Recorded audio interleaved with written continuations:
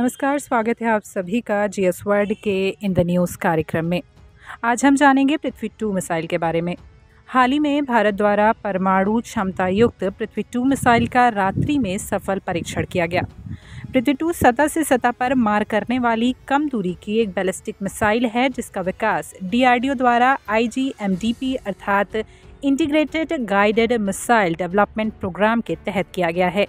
यह 500 से 1000 किलोग्राम तक के वॉरहेड को 350 किलोमीटर तक ले जाने में सक्षम है। इसमें तरल प्रणोदक युक्त डबल इंजन का प्रयोग किया जाता है। साथ ही अत्यधिक सटीकता से लक्ष्य को भेदने में सक्षम है। आइए जानते हैं क्या है आई यह एक integrated guided missile development program है जो भारत सरकार के रक्षा मंत्रालय द्वारा चलाया गया था। इसकी शुरुआत उन्नीस सौ बयासी तिरासी में doctor A P J Abdul Kalam के नेतृत्व में की गई थी। इसलिए उन्हें भारत के मिसाइल मैन भी कहा जाता है।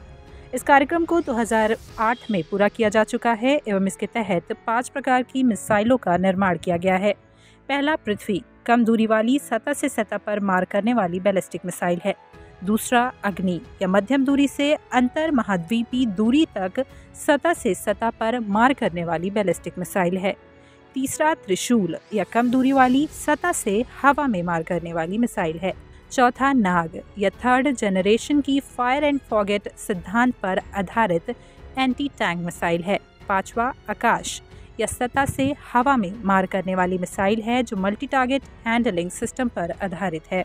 समय समय पर इन सभी मिसाइलों को अनेक नए और अपग्रेडेड संस्करणों का विकास किया जाता रहा है, जो नई नई तकनीकों से युक्त होते हैं। फ़िलहाल, भारत, जल, थल और वायु तीनों जगह से किन्हीं भी परिस्थितियों में परमाणु हथियार दागने में सक्षम हो चुका है। ऐसी ही महत्वपूर्ण ज्ञानवर्धक करंट अफेयर्स वीडियोस के लिए जीएस वर्ल्ड को सब्सक्राइब करें।